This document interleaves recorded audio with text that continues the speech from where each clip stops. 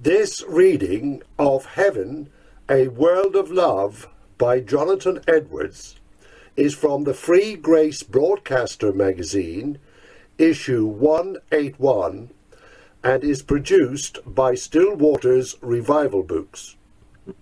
Part 2 The other fruit of love, as exercised in such circumstances, is 2 perfect tranquility and joy in heaven.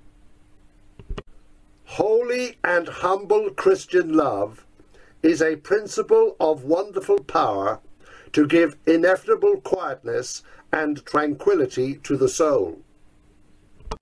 It banishes all disturbance and sweetly composes and brings rest to the spirit and makes all divinely calm and sweet and happy. In that soul where divine love reigns and is in lively exercise, nothing can cause a storm or even gather threatening clouds. There are many principles contrary to love that make this world like a tempestuous sea. Selfishness and envy and revenge and jealousy and kindred passions keep life on earth in a constant tumult and make it a scene of confusion and uproar, where no quiet rest is to be enjoyed except in renouncing this world and looking to another. But oh, what rest is there in that world which the God of peace and love fills with his own gracious presence, and in which the Lamb of God lives and reigns, filling it with the brightest and sweetest beams of his love?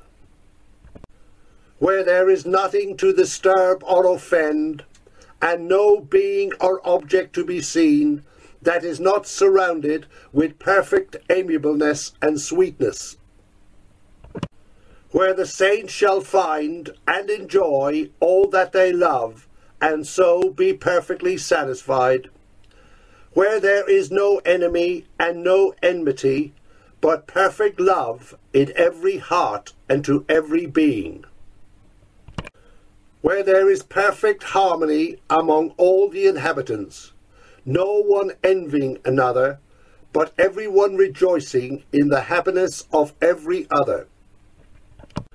Where all their love is humble and holy, and perfectly Christian, without the least carnality or impurity, where love is always mutual and reciprocated to the full, where there is no hypocrisy or dissembling, but perfect simplicity and sincerity, where there is no treachery or unfaithfulness or inconstancy or jealousy in any form, where there is no clog or hindrance to the exercises or expressions of love, no imprudence or indecency in expressing it, and no influence of folly or discretion in any word or deed.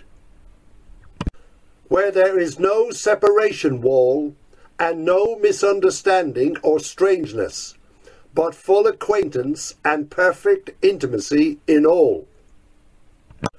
Where there is no division through different opinions or interest, but where all in that glorious and loving society shall be most nearly and divinely related, and each shall belong to every other. And all shall enjoy each other in perfect prosperity and riches and honour without any sickness or grief or persecution or sorrow or any enemy to molest them or any busybody to create jealousy or misunderstanding or mar the perfect and holy and blessed peace that reigns in heaven. And all this in the garden of God, in the paradise of love where everything is filled with love.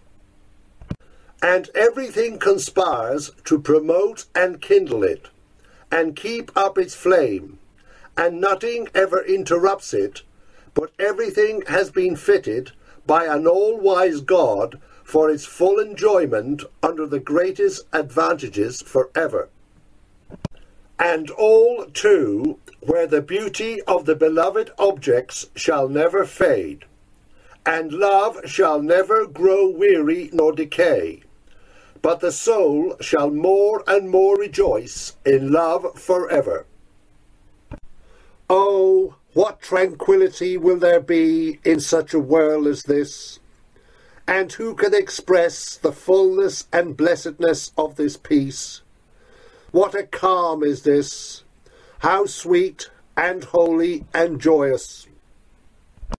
What a haven of rest to enter after having passed through the storms and tempests of this world, in which pride and selfishness and envy and malice and scorn and contempt and contention and vice are as waves of a restless ocean, always rolling and often dashed about in violence and fury. What a Canaan of rest to come to, after going through this waste and howling wilderness, full of snares and pitfalls and poisonous serpents, where no rest could be found. And oh, what joy will there be springing up in the hearts of the saints after they have passed through their wearisome pilgrimage to be brought to such a paradise as this. Here is joy unspeakable indeed, and full of glory, joy that is humble, holy, enrapturing, and divine in its perfection. Love is always a sweet principle, and especially divine love. This, even on earth, is a spring of sweetness, but in heaven it shall become a stream, a river, an ocean. All shall stand about the God of glory, who is the fountain of love, opening, as it were, their very souls to be filled with those effusions of love that are poured forth from his fullness, just as the flowers of the earth in the bright and joyous days of spring open their bosoms to the sun to be filled with his light and warmth and to flourish in beauty and fragrancy under his cheering rays. In the application of this subject, I remark 1. If heaven be such a world as has been described, then we may see a reason why contention and strife tend to darken our evidence of fitness for its possession. Experience teaches that this is the effect of contention when principles of malignity and ill will prevail among God's people, as they sometimes do through the remaining corruption of their hearts, and they get into a contentious spirit, or are engaged in any strife, whether public or private, and their spirits are filled with opposition to their neighbours in any matter whatever, their former evidence for heaven seem to become dim or die away, and they are in darkness about their spiritual state, and do not find that comfortable and satisfying hope that they used to enjoy. And so, when converted persons get into ill frames in their families, the consequence commonly, if not universally, is that they live without much of a comfortable sense of heavenly things or any lively hope of heaven. They do not enjoy much of that spiritual calm and sweetness that those do who live in love and peace. They have not that help from God and that communion with Him and that near intercourse with heaven in prayer that others have. The apostle seems to speak of contention in families as having this influence. His language is 1 Peter 3 7. Likewise, ye husbands, dwell with them, brackets your wives, according to knowledge, giving honour unto the wife as unto the weaker vessel, and as being heirs together of the grace of life, that your prayers be not hindered. Here he intimates that discord in families tends to hinder Christians in their prayers. And what Christian that has made the sad experiment has not done it to his sorrow, and in his own experience does not bear witness to the truth of the Apostle's intimation? Why it is so that contention has this effect of hindering spiritual exercises and comforts and hopes, and of destroying the sweet hope of that which is heavenly, we may learn from the doctrine we have considered. For heaven being a world of love, it follows that when we have the least exercise of love and the most of a contrary spirit, then we have the least of heaven and are farthest from it in the frame of our mind. Then we have the least of the exercise of that wherein consists a conformity to heaven, and a preparation for it, and what tends to it. And so, necessarily, we must have least evidence of our title to heaven, and be furthest from the comfort which such evidence affords. We may see again from this subject, too, how happy those are who are entitled to heaven. There are some persons living on earth to whom the happiness of the heavenly world belongs as much, yea, much more, than any man's earthly estate belongs to himself. They have a part and interest in this world of love, and have a proper right and title to it. For they are of the number of those of whom it is written, Revelation 22:14, Blessed are they that do his commandments, that they may have right to the tree of life, and may enter in through the gates into the city.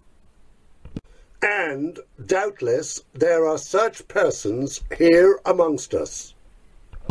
And oh, how happy are all such, entitled as they are to an interest in such a world as heaven. Surely they are the blessed of the earth, and the fullness of their blessedness no language can describe, no words express. But here some may be ready to say, Without doubt, they are happy persons that have a title to such a blessed world, and are soon to enter on the eternal possession of its joys. But who are these persons? How shall they be known? And by what marks may they be distinguished?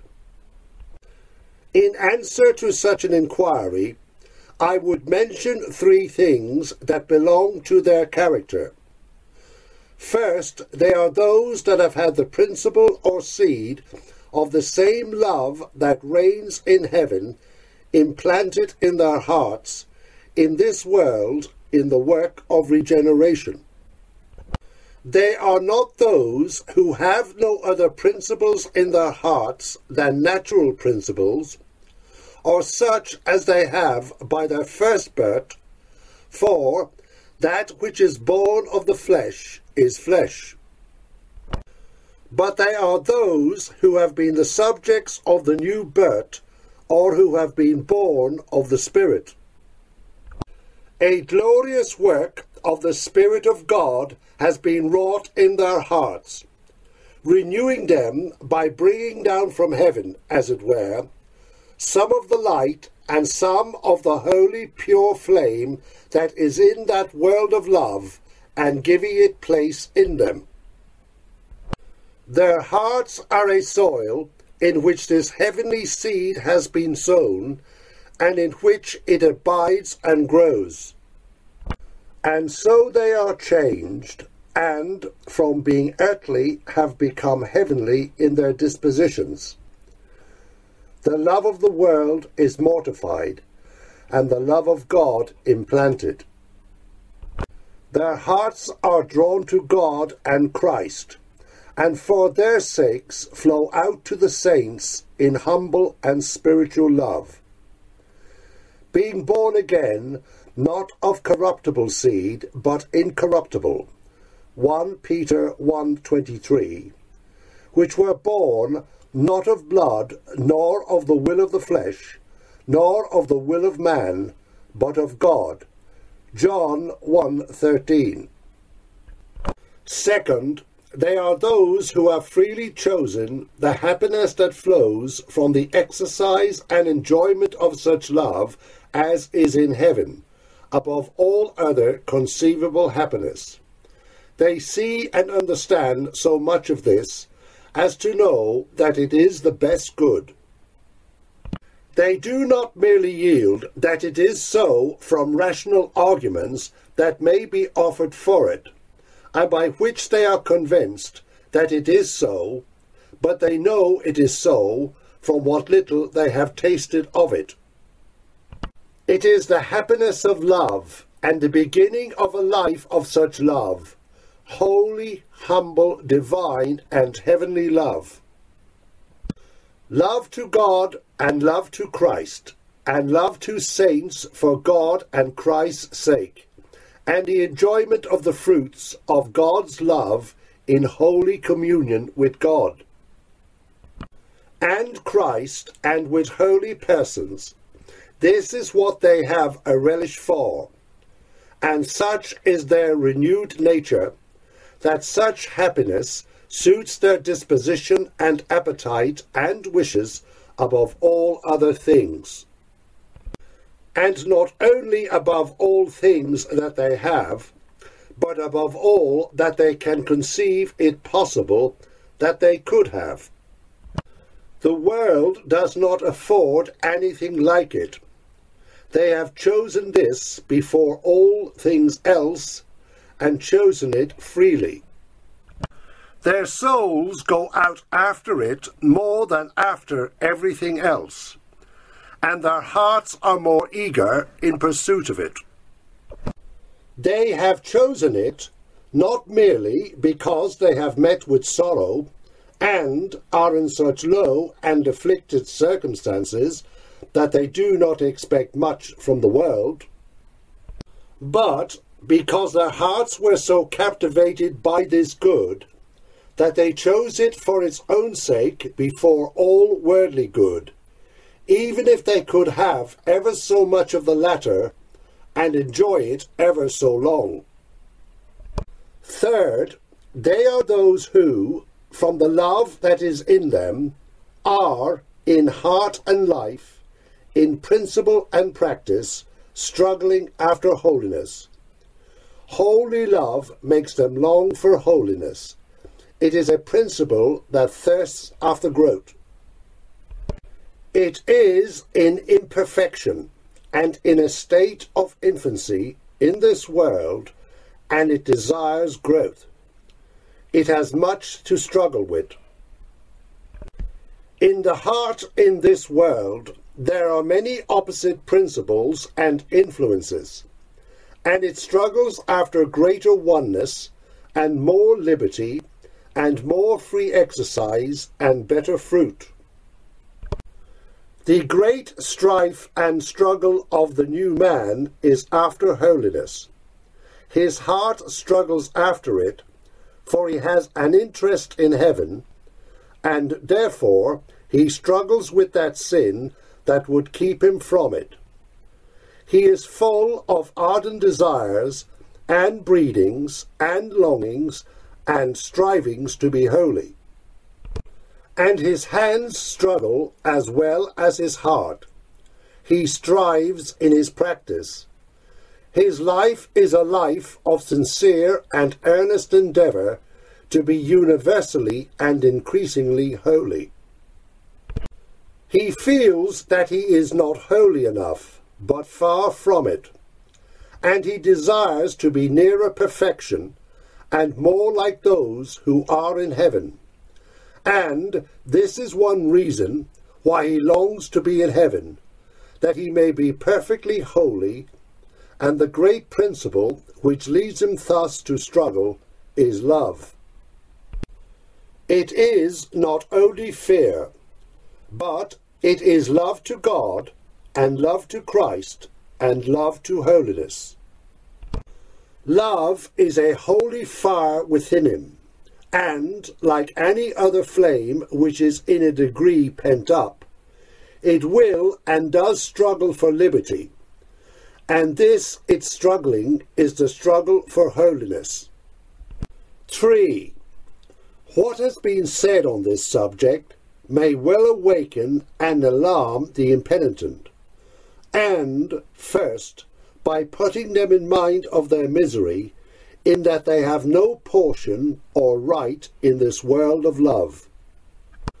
You have heard what has been said of heaven, what kind of glory and blessedness is there, and how happy the saints and angels are in that world of perfect love.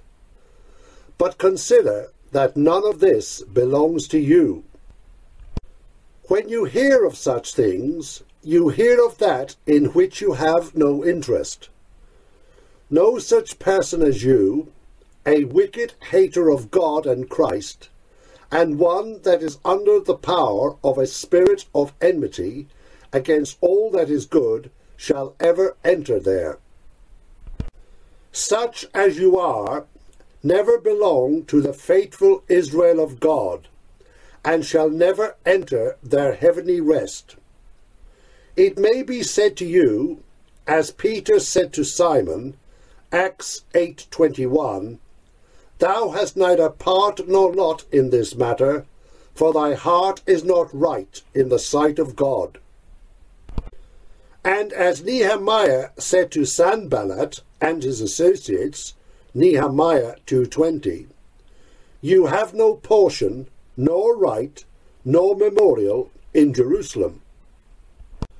If such a soul as yours should be admitted into heaven, that world of love, how nauseous would it be to those blessed spirits whose souls are as a flame of love?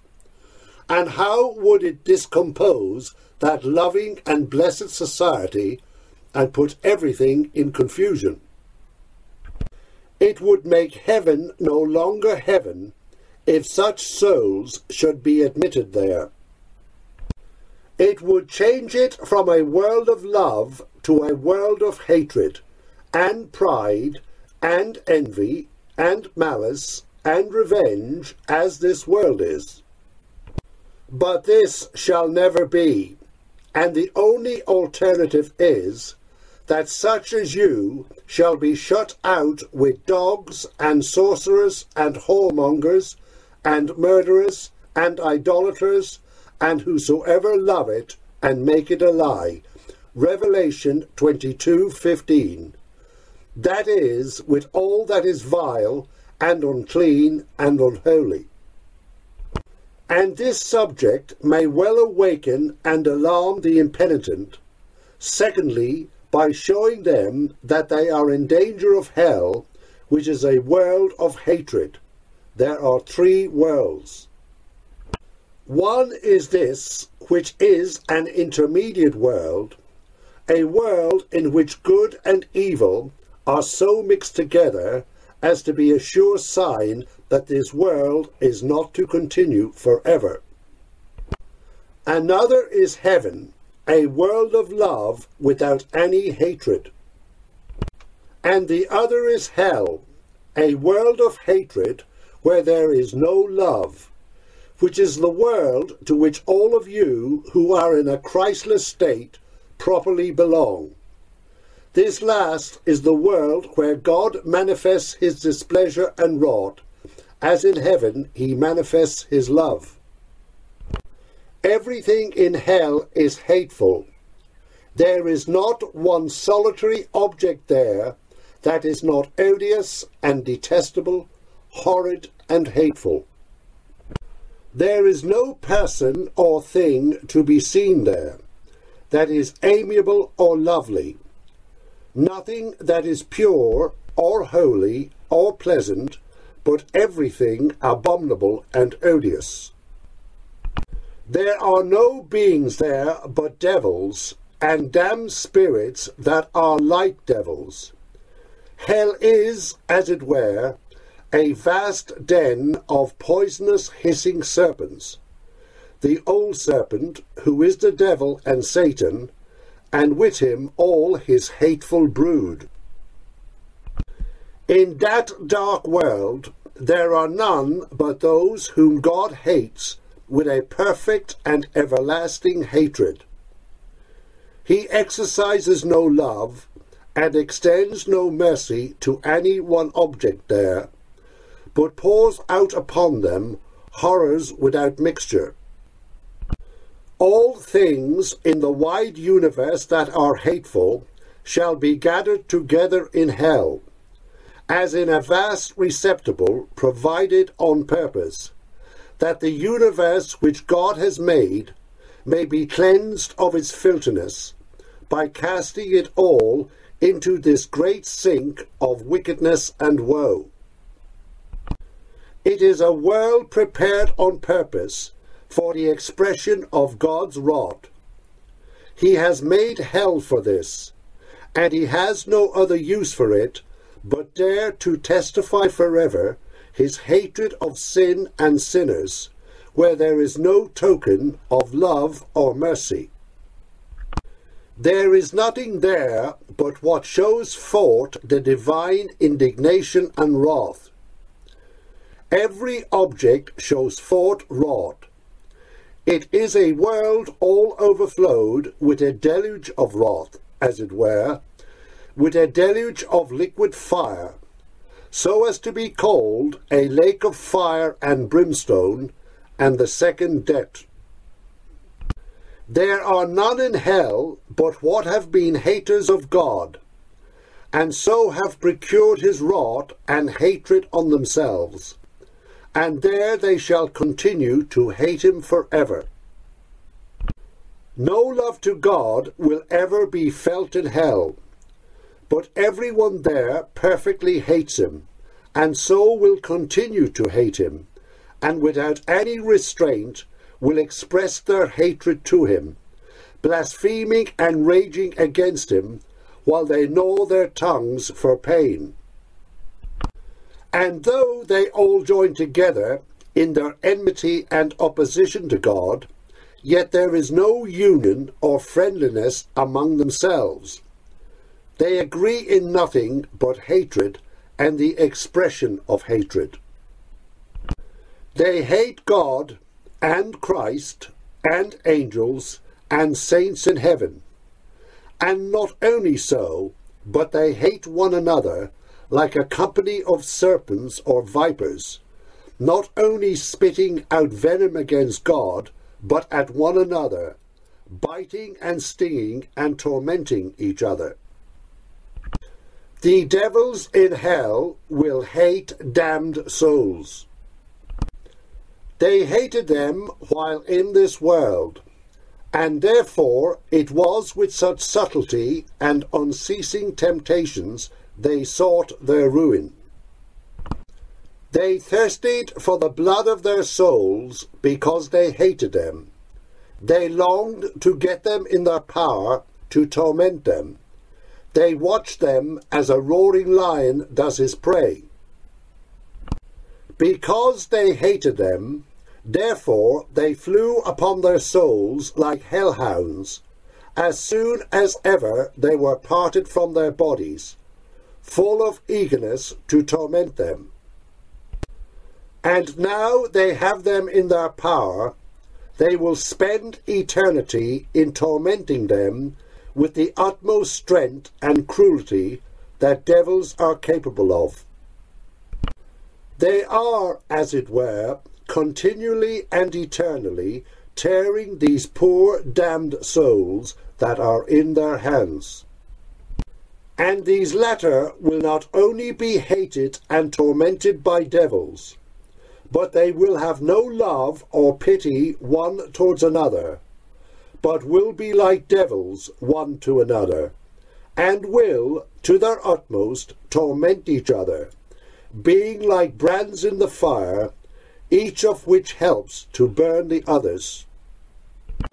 In hell, all those principles will reign and rage that are contrary to love, without any restraining grace to keep them within bounds.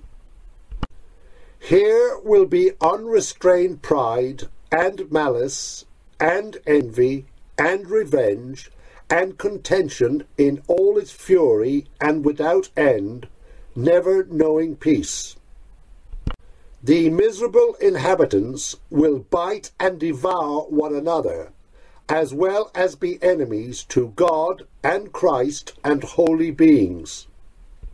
Those who, in their wickedness on earth, were companions together, and had a sort of carnal friendship one for another, will here have no appearance of fellowship, but perfect and continual and undisguised hatred will exist between them. As on earth they promoted each other's sins, so now in hell they will promote each other's punishment. On earth they were the instruments of undoing each other's souls. There they were occupied in blowing up the fires of each other's lusts, and now they will blow forever the fires of each other's torments. They ruined one another in sinning, setting bad examples to each other, poisoning each other by wicked talk, and now they will be as much engaged in tormenting as once they were in tempting and corrupting each other. And there their hatred and envy, and all evil passions, will be a torment to themselves God and Christ, whom they will hate most, and towards whom their souls will be as full of hatred as an oven is ever full of fire, will be infinitely above their reach, dwelling in infinite blessedness and glory which they cannot diminish.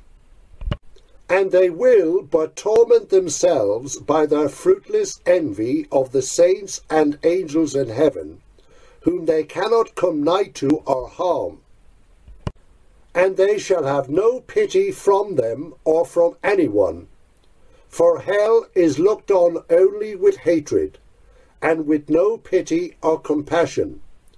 And thus they will be left to spend their eternity together. Now consider all ye that are out of Christ, and that were never born again and that never had any blessed renovation of your hearts by the Holy Spirit, implanting divine love in them, and leading you to choose the happiness that consists in holy love as your best and sweetest good, and to spend your life in struggling after holiness. Consider your danger and what is before you. For this is the world to which ye are condemned, and so the world to which you belong through the sentence of the law. And the world that every day and hour you are in danger of having your abode everlastingly fixed in.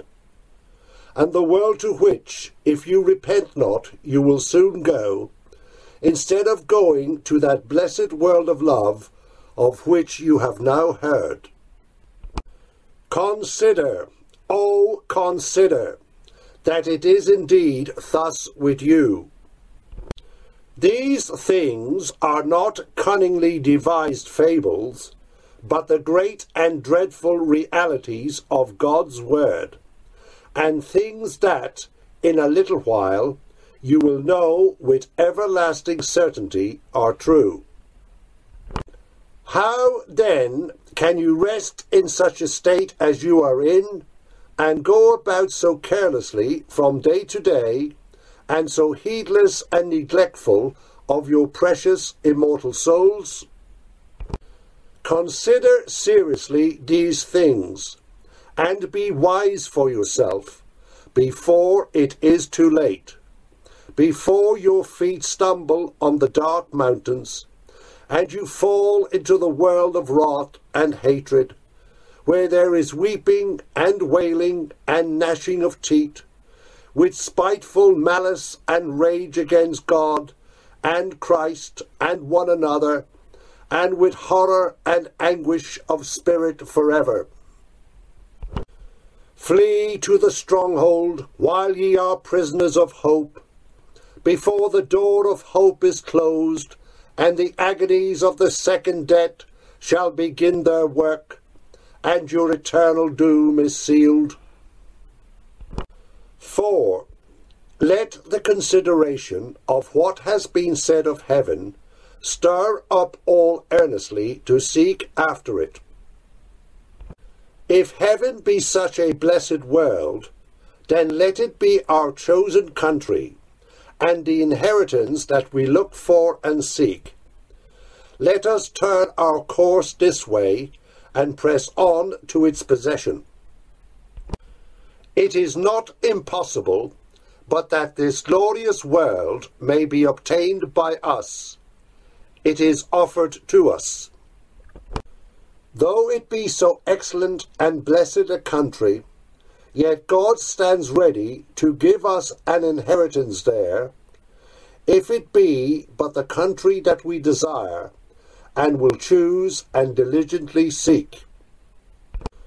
God gives us our choice we may have our inheritance wherever we choose it, and may obtain heaven if we will but seek it by patient continuance in well doing. We are all of us, as it were, set here in this world as in a vast wilderness, with diverse countries about it, and with several ways or paths leading to these different countries and we are left to our choice what course we will take.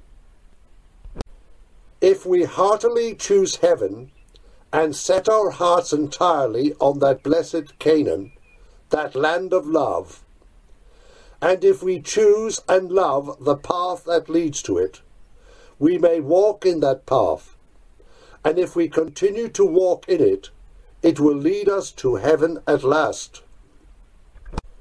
Let what we have heard of the land of love stir us all up to turn our faces toward it and bend our course thitherward. Is not what we have heard of the happy state of that country and the many delights that are in it enough to make us thirst after it and to cause us with the greatest earnestness and steadfastness of resolution to press towards it and spend our whole lives in travelling in the way that leads thither? What joyful news might it well be to us when we hear of such a world of perfect peace and holy love, and to hear that it is possible, yea, that there is full opportunity for us to come to it and spend an eternity in its joys. Truly, this is an evil world, and so it is like to be.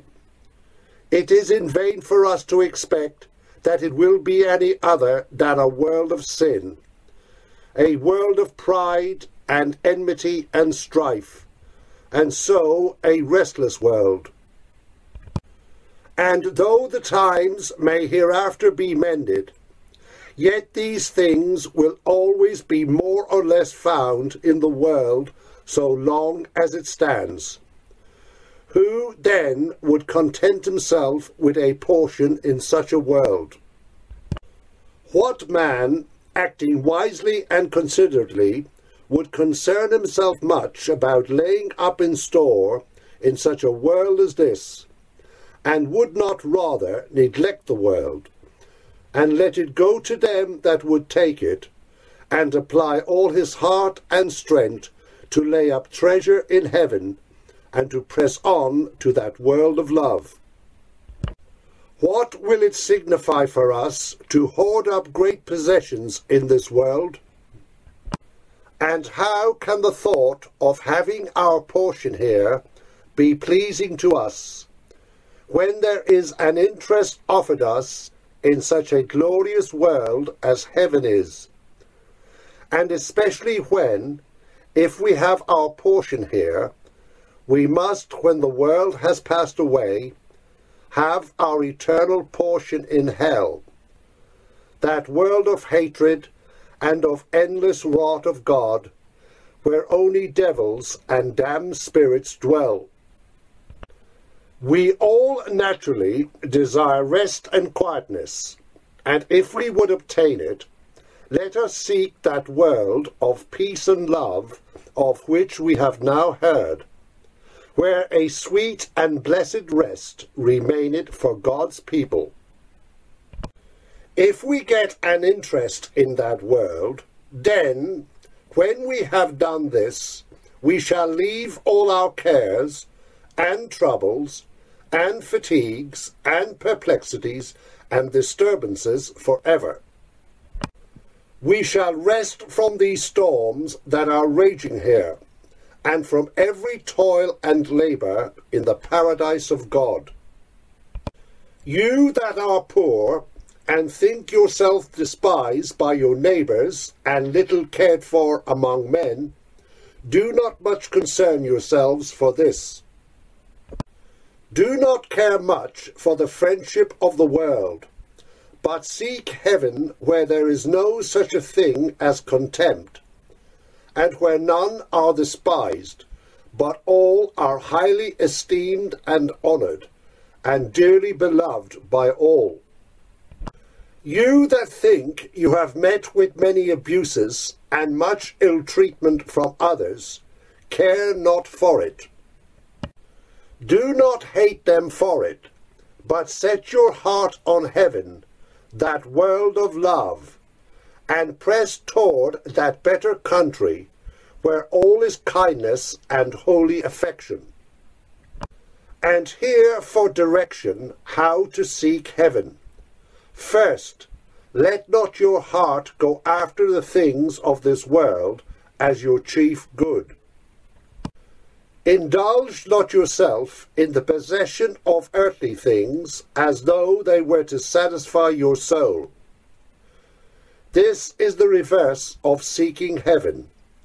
It is to go in a way contrary to that which leads to the world of love. If you would seek heaven, your affections must be taken off from the pleasures of the world. You must not allow yourself in sensuality, or worldliness, or the pursuit of the enjoyments or honours of the world, or occupy your thoughts or time in heaping up the dust of the earth. You must mortify the desires of vainglory and become poor in spirit and lowly in heart. Second, you must, in your meditations and holy exercises, be much engaged in conversing with heavenly persons and objects and enjoyments.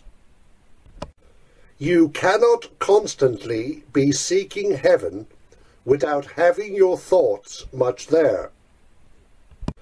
Turn then the stream of your thoughts and affections towards that world of love, and towards the God of love that dwells there, and toward the saints and angels that are at Christ's right hand.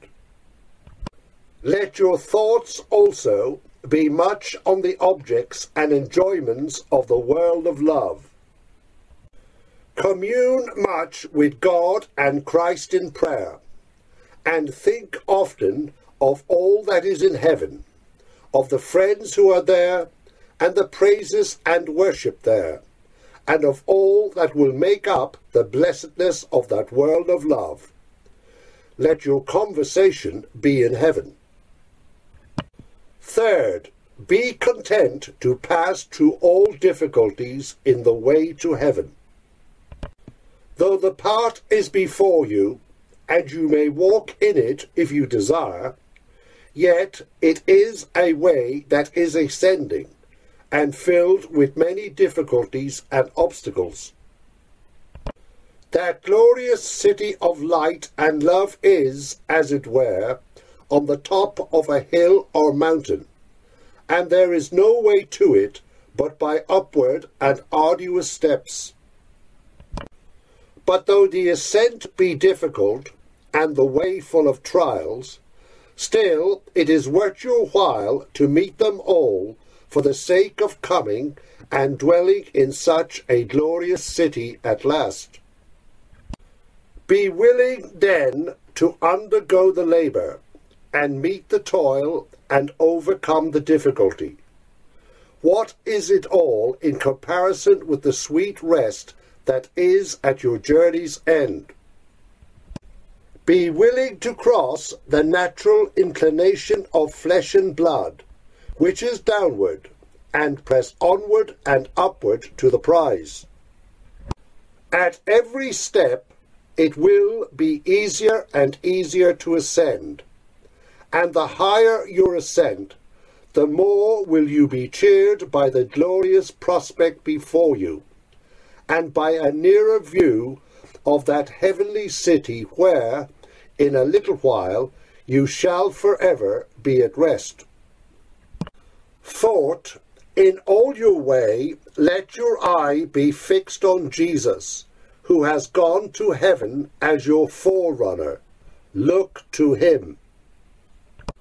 Behold his glory in heaven, that a sight of it may stir you up the more earnestly to desire to be there.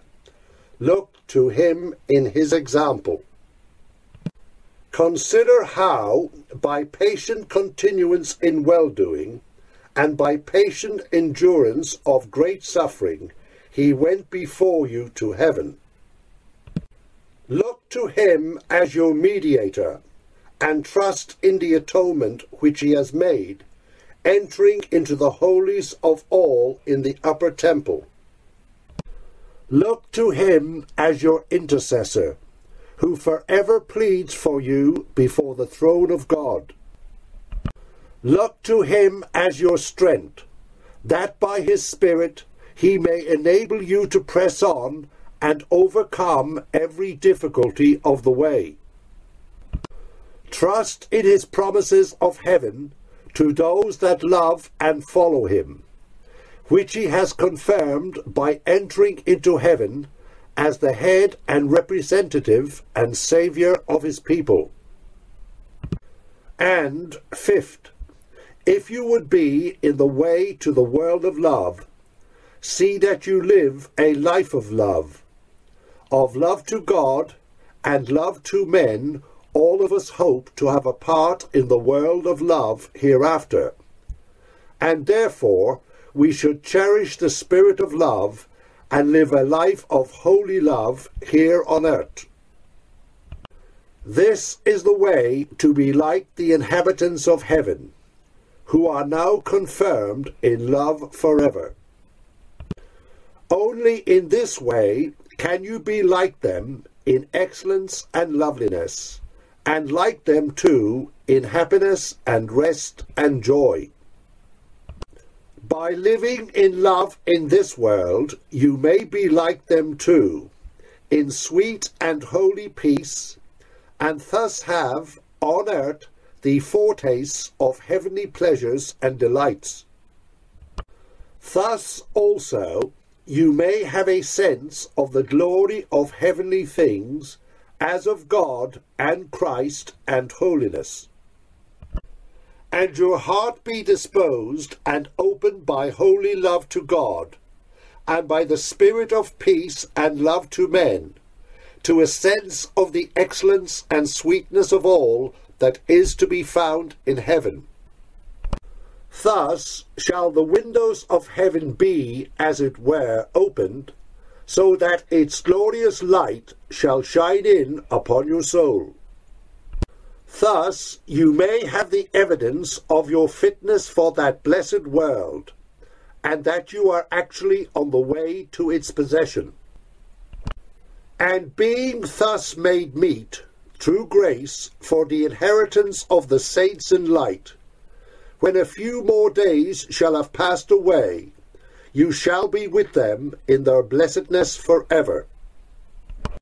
Happy, thrice happy those who shall thus be found faithful to the end, and then shall be welcomed to the joy of their Lord. There they shall hunger no more, neither thirst any more, neither shall the sun light on them, nor any heat. For the Lamb which is in the midst of the throne shall feed them, and lead them to living fountains of waters, and God shall wipe away all tears from their eyes. Still Waters Revival Books is now located at PuritanDownloads.com. It's your worldwide online Reformation home for the very best in free and discounted classic and contemporary, Puritan and Reformed books, MP3s, and videos. For much more information on the Puritans and Reformers, including the best free and discounted classic and contemporary books, MP3s, digital downloads, and videos, please visit Still Waters Revival Books at PuritanDownloads.com. Still Waters Revival Books also publishes the Puritan Hard Drive, the most powerful and practical Christian study tool ever produced. All thanks and glory be to the mercy, grace, and love of the Lord Jesus Christ for this remarkable and wonderful new Christian study tool. The Puritan hard drive contains over 12,500 of the best Reformation books, MP3s, and videos ever gathered onto one portable Christian study tool an extraordinary collection of Puritan, Protestant, Calvinistic, Presbyterian, Covenanter, and Reformed Baptist resources. It's fully upgradable and it's small enough to fit in your pocket. The Puritan hard drive combines an embedded database containing many millions of records with the most amazing and extraordinary custom Christian search and research software ever created. The Puritan hard drive has been produced to assist you in the fascinating and exhilarating spiritual, intellectual, familial, ecclesiastical, and societal adventure that is living the Christian life. It has been specifically designed so that you might more faithfully know, serve, and love the Lord Jesus Christ, as well as to help you to do all you can to bring glory to His great name. If you want to love God with all your heart, soul, strength, and mind, then the Puritan hard drive is for you. Visit PuritanDownloads.com today for much more information on the Puritan hard drive and to take advantage of all the free and discounted Reformation and Puritan books, MP3s, and videos that we offer at Still Waters Revival Books.